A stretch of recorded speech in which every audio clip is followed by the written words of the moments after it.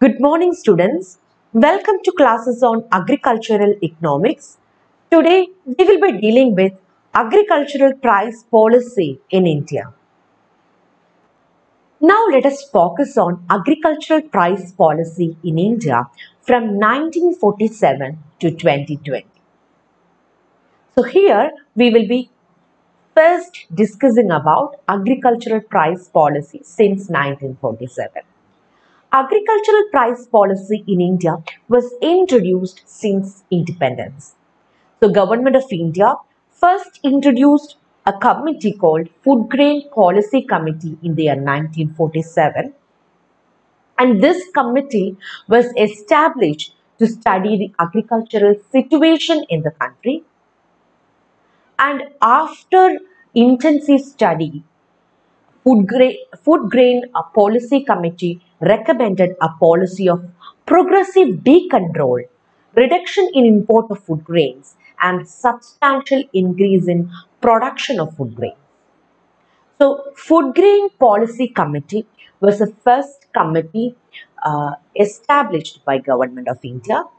And this committee recommended uh, government of india to reduce food imports so when food imports are reduced, in order to balance this, this committee recommended to increase food production domestically.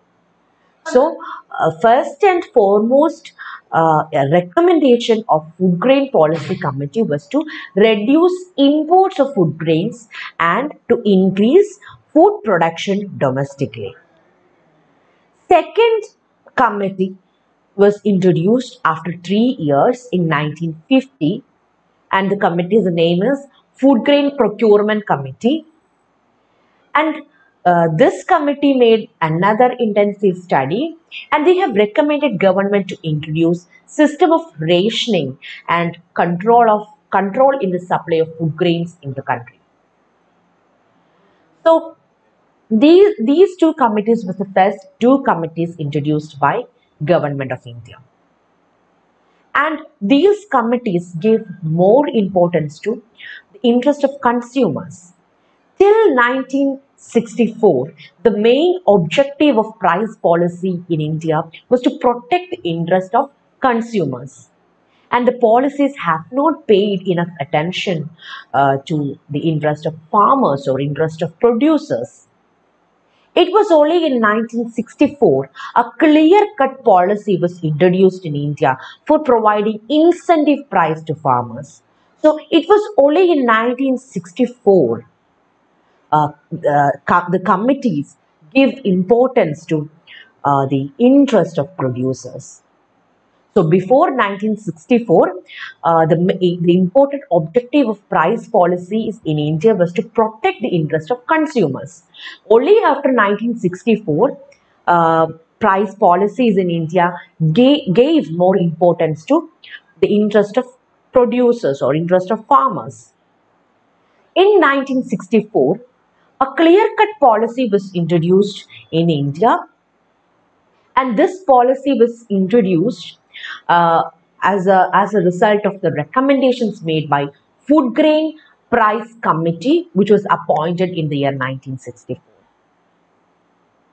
So Food Grain Price Committee was the first committee that gave more importance to the interest of, interest of producers.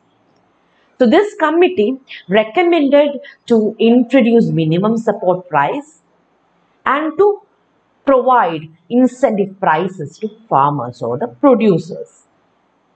After two years, government appointed another food grain policy committee in the year 1966 and this committee made um, several recommendations to government of India. We will be discussing three important recommendations made by this new committee. Um, first recommendation, so this new committee recommended government to announce minimum support price well in advance to the sowing season. So uh, the committee recommended government uh, that if they wish to increase the food production in the country, then they have to announce minimum support price well in advance to the sowing season. See, if uh, minimum support price are announced well in advance to the sowing season, then farmers are guaranteed minimum support price. Uh, they know they are going to get minimum support price for their product, whatever happens in the future. So they will invest more in uh, agriculture sector and this will increase food production in the economy. So, uh, first recommendation of this new committee was to, uh, to announce minimum support price well in advance to the sowing season. Second important recommendation made by this committee is to keep procurement price well above or higher than the support price. So, second recommendation made by the committee in committee uh, established in 1966 is to keep the procurement price higher than support price. So when procurement price is placed higher than support price, uh, farmers will be given uh, proper incentive to uh, invest in their farms as well as consumers will get uh, reasonable prices for their product.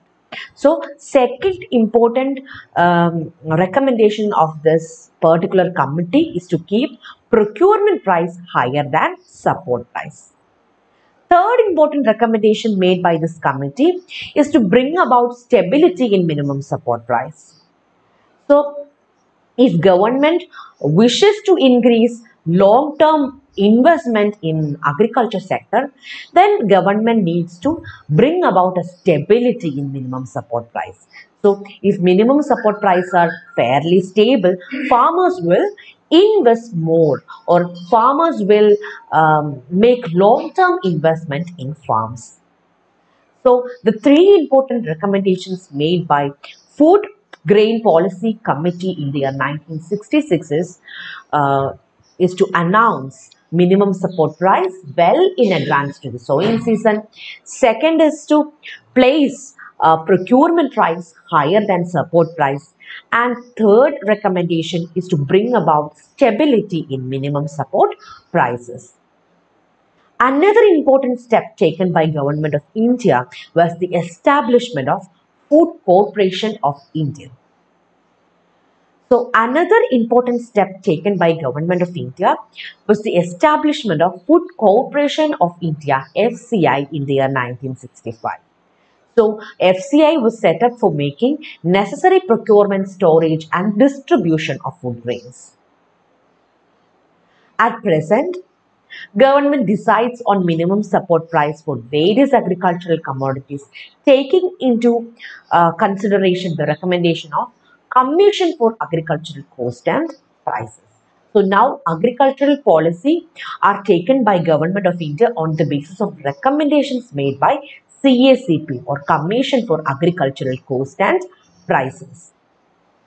So this is a this is the overview of agricultural price policy in, in India from 1947 to 2020. So there were several committees or commissions, uh, several commissions were established uh, by Government of India and the latest one is CACP, Commission for Agricultural Cost and Prices and now agricultural price policies are taken by government on the basis of recommendations made by CACP.